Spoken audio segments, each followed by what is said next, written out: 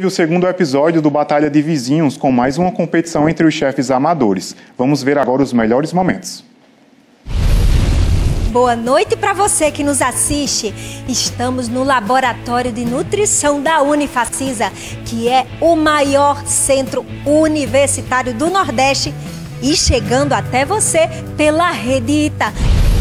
Os chefes de hoje irão preparar um prato de entrada e serão julgados por Viviane Barros, nutricionista, coordenadora do curso de nutrição Unifacisa, chefe Vitor Tavares e o nosso jurado convidado Heitor Cândido, professor do bacharelado em medicina veterinária da Unifacisa. Então, as anjos de hoje são Ivina Maria, aluna do curso de nutrição e Vanessa Lima, técnica em nutrição da Unifacisa. E os competidores dessa competição são Juliano Matias, cliente do supermercado Provisão Loja 2. E também a Lucielma, cliente das lojas Avícola Central.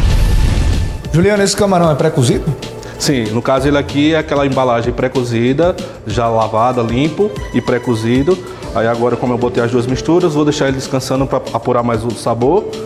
Enquanto isso, eu vou utilizar a melancia.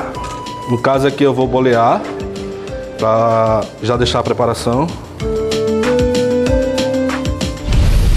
Oi, amor. É, você não acha que só os chips de batata seria suficiente para ter uma diferença de textura com o guacamole mais molinho e os chips crocantes? Você não acha que já seria suficiente essa mistura, não?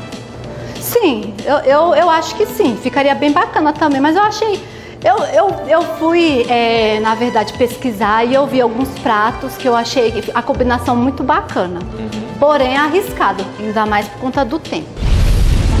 É você, Juliana.